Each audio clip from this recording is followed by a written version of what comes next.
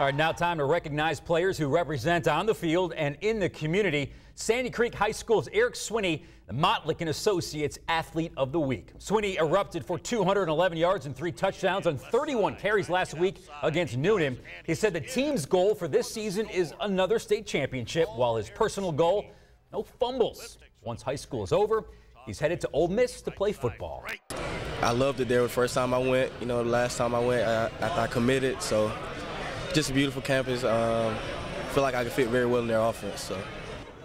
Now you get to vote for the Athlete of the Year at the end of the season, and at that time, Montlick and Associates will donate $5,000 to the Young man's School.